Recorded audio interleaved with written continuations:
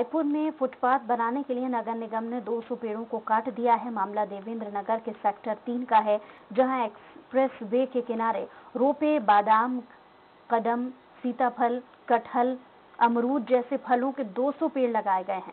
लेकिन अब इन पेड़ों को काटकर वहाँ पर निगम प्रशासन फुटपाथ बनाना चाहता है, जिसका स्थानीय लोगों ने विरोध किया।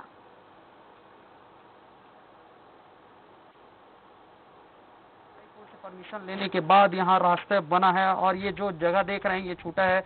और यहाँ पे एक्सप्रेस वे का घेरा बनने के बाद यहाँ पे ये लगभग कॉलोनी वासियों ने 200 पौधे यहाँ पे लगाए हैं, लेकिन अभी नगर पालिका निगम यहाँ पे फुटपाथ बनाने के लिए तमाम पौधे को उखाड़ कर यहाँ पे फुटपाथ बनाने का काम स्टार्ट किया है।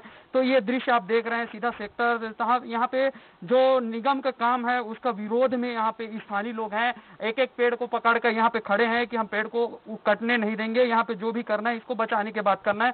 तो आइए जानते हैं कि उनकी पूरी क्या मांग है। ये आप लोग पेड़ के साथ है, अपना विरोध प्रदर्शन कर रहे हैं। क्या मामला क्या है? ये सेक्टर तीन की जो मुख्य मार्ग है, रोड है, हमको ले दे के एक्सप्रेस वे से लड़ाई के बाद हमको 30 फीट की रोड मिली है, जिसमें कि मात्र 15-17 फीट की दामर रोड मिली है और बाकी ये पेड़ लगाने के लिए एक जगह बची हुई थी। नगर निगम ने नौ सौ पंचानवे पेड़ जो हैं, उसको काटने के बाद जो एक्सप्रेस वे बना आज तक शासन ने एक पेड़ नहीं लगाया, हमने बहुत मांग की।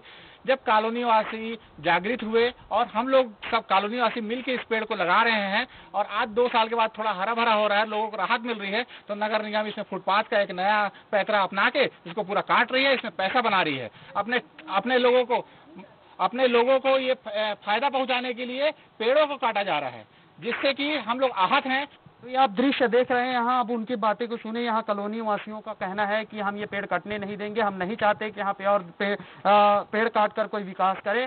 पहले भी 900 पेड़ काटे जा चुके हैं अब अभी यहाँ 200 पेड़ हैं जिसमें 20 पेड़ कट चुके हैं। अब देखना ये होगा कि इनके विरोध के बाद जिम्मेदार अधिकारी इस पे क्या एक्शन लेते हैं क्या ये फुटपाथ के काम रोका जाएगा या पेड़ काट फिर फुटपाथ लगाया जाएगा। कैमरामैन चोलाराम के साथ सत्या राजपूत स्वराज एक्सप्रेस रायपुर।